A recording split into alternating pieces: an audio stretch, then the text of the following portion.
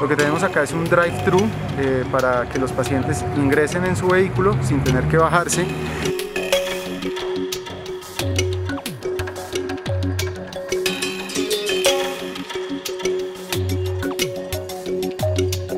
Italia es una marca enfocada en la salud proactiva del laboratorio Colcan. Solamente bajan la ventana en el momento en que se va a tomar la muestra, entregan su documento de identidad se toman la muestra, no dura más de 5 minutos y vuelven y salen. El proceso completo y estamos tomando muestras cada 15 minutos ya que la persona que toma la muestra se tiene que cambiar todos los elementos de bioseguridad, se tiene que hacer un correcto lavado de manos para poder atender al siguiente paciente. Eh, antes de acceder al drive-thru es necesario tener una cita programada. Esta cita la pueden tener a través de nuestra plataforma de videoconsulta eh, en la cual un médico le da la autorización para que la persona se pueda hacer el examen introducimos un isótopo por vía en la nariz, eh, llegamos hasta la nasofaringe, de la nasofaringe tomamos una muestra de moco, dándole como es una especie de manecillas del reloj, la vueltica, sacamos el isótopo y lo metemos en un vial especial que tenemos. Después de introducción en el vial, lo introducimos en una bolsa Ciplo, después de la bolsa Ciplo está en un frasco especial, que eso es lo que llamamos triple embalaje.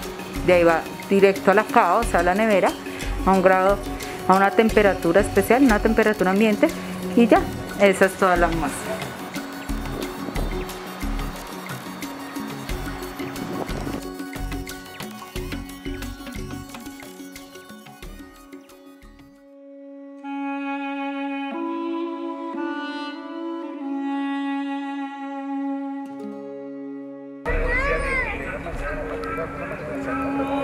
Eh, buenos días, mi nombre es Joan Cerrato, ciudadano venezolano. Tengo cuatro años acá y trabajo en una tienda deportiva como vendedor.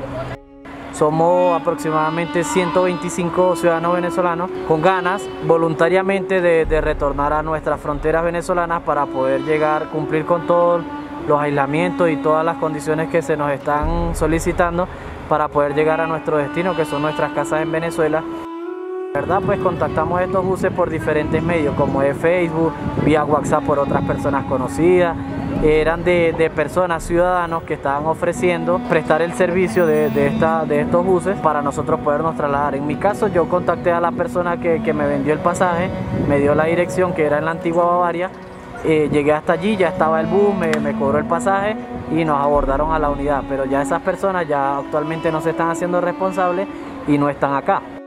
Bueno, pues normalmente eh, un pasaje puede costar de 80 mil pesos en una temporada baja hasta 120 mil pesos en una temporada alta en lo que es el, terminal salitre cuando el terminal está habilitado. Nos hemos visto en la obligación de acudir a estos transportes, llamémoslo privados o de turismo, y nos han cobrado de 200 mil pesos en adelante. No tienen tarifa fija. Hay personas que han pagado 220, 240, 250 hasta 400 mil pesos por persona únicamente nos entregaron la cédula anoche. Hasta el momento no han entregado ningún documento de los carros. ¿Qué documentos te quitaron a ti?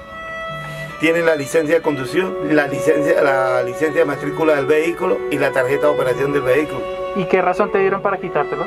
Que tocaba esperar, que eso era orden presidencial, lo que dicen, pero de ahí no nos dicen más. No hemos recibido de parte de las entidades públicas acá, como puede ser la alcaldía, migración o la policía de tránsito, que nos otorguen un permiso.